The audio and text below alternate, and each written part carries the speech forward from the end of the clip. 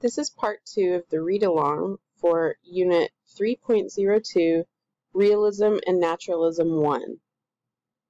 Realism and Naturalism in France, an unvarnished view of peasant life. The setting may be picturesque, but there is nothing idyllic about the activity that Millet presents in the painting.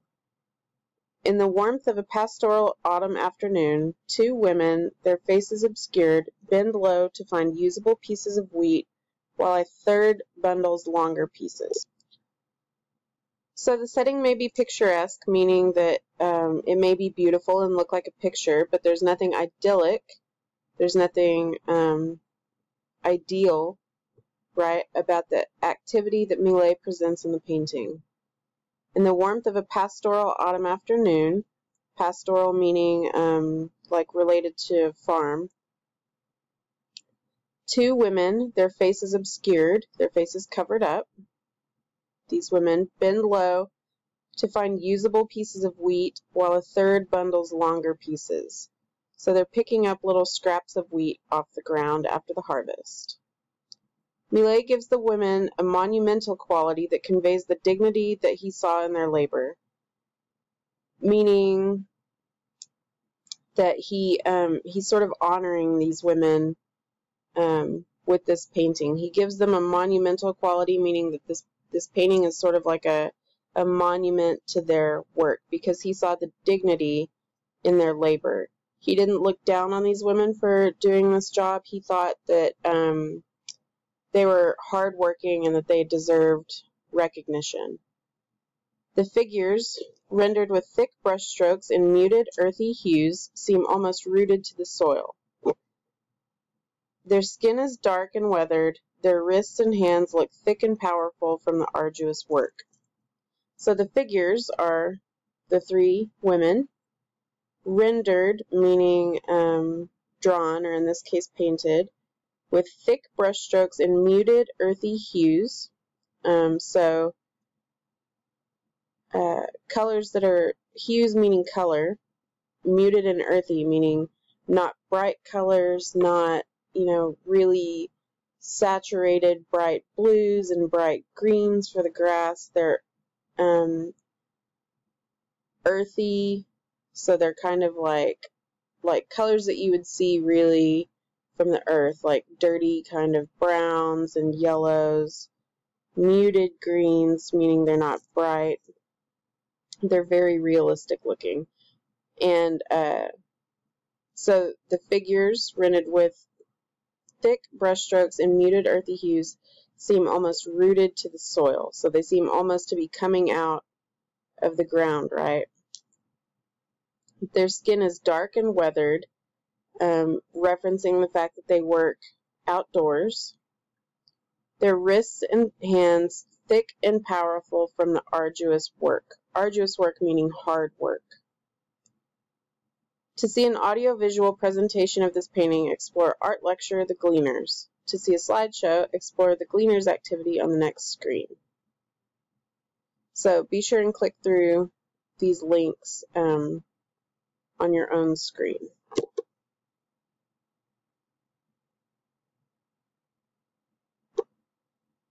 Subject matter in Millet's time, landlords generally granted peasants the opportunity to gather or glean any leftover morsels after the day's harvest. True to his realist and naturalist roots, Millet captures the back-breaking work with fidelity to the natural world. He paints the main figures large and at eye level in the foreground and sets them against a vast sky. He eliminates all unnecessary details that might distract from the figures and their strenuous labor. So, again, landlords uh, would let peasants go out and gather or glean all of the little leftover bits and pieces after the big harvest. So they um, got the scraps essentially while the landlord got the big main harvest. True to his realist and naturalist roots, Millet captures the backbreaking work with fidelity to the natural world. So he's a realist naturalist painter that we've already talked about which means that he captures the women doing this back-breaking work with fidelity to the natural world, meaning that he stays faithful to what it actually looks like. He's not trying to make it look more perfect. He's not trying to make it look more pretty. Um, this is what it actually looks like, and this is how I'm going to paint it. He paints the main figures large and at eye level in the foreground in the front of the painting and sets them against a vast sky. So you can see the sky, vast meaning um, large. He eliminates all unnecessary details that might distract from the figures and their strenuous labor, their hard work.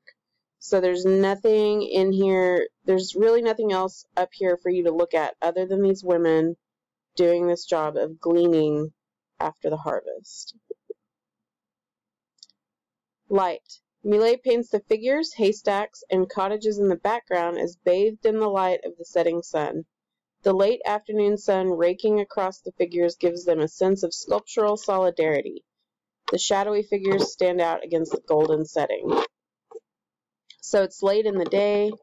Um, the background is kind of washed in this um, sunset light, which means that the the women in the front um, stand out because he's painted them darker, right? Because of the the way the lighting is. The light's sort of going over them, and because they're in the fore the foreground and they're so close to you as the viewer, you can tell um, that these are solid figures, while everything else in the background looks kind of um, almost a little blurry, right? Because it's in the background. It's late in the day, um, and that's another way that he really uh, put emphasis on these figures in the front. Color, line, and shape. Millet created a simple composition, meaning um, a simple arrangement with colors, lines, and shapes. He used earthy hues that we've already talked about, earthy colors, throughout the painting for a sense of unity and to create a quiet mood. The sunlight accentuates areas of color on the laborers' worn clothing.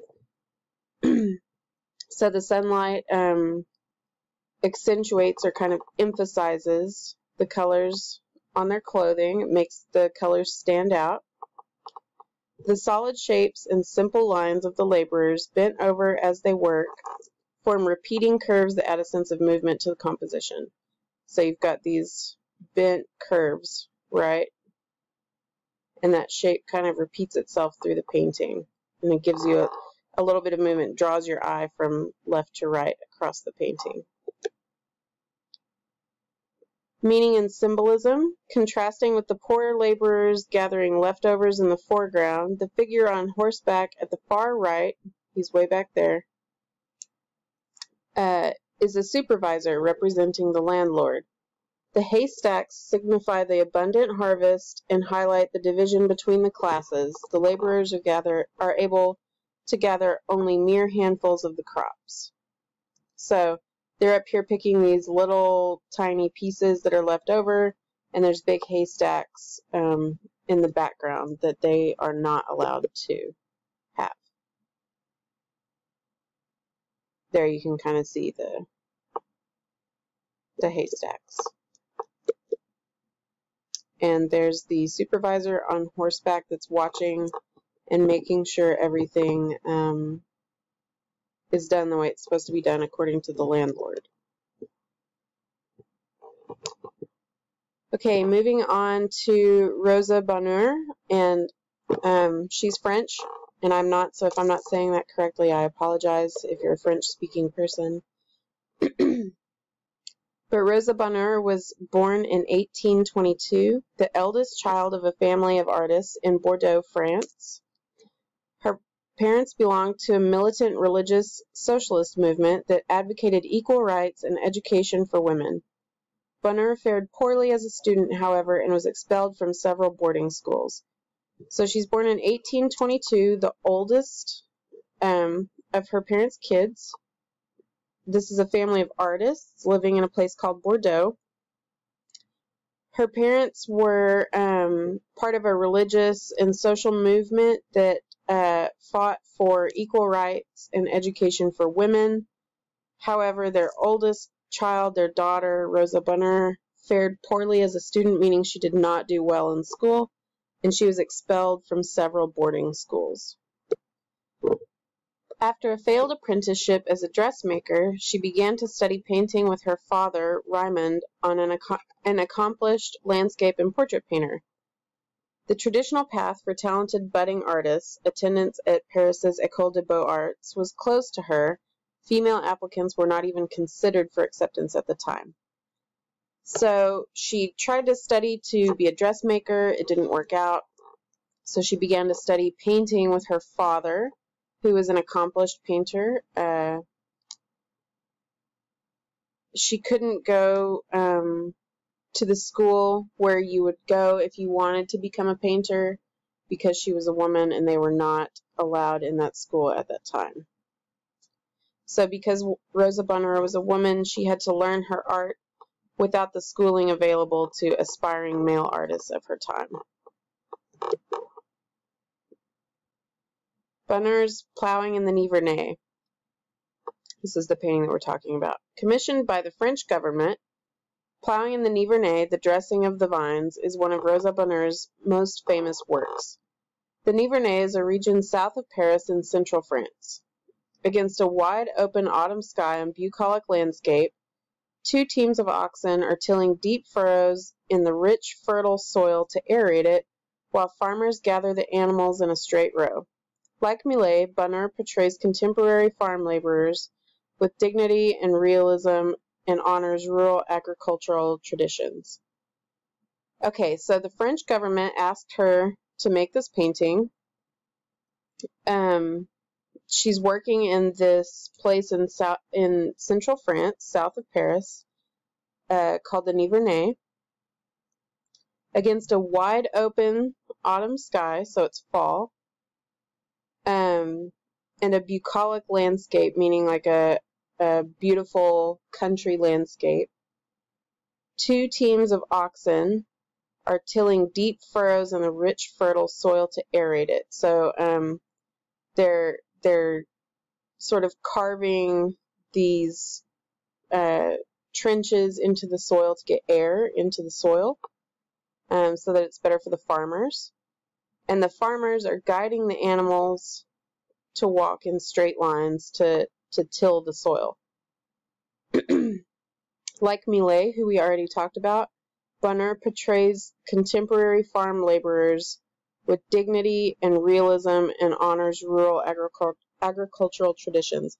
So, like Millet, she's saying um, that these people are worthy of respect for all the hard work that they do, and um, I'm going to paint them and show how valuable their hard work is.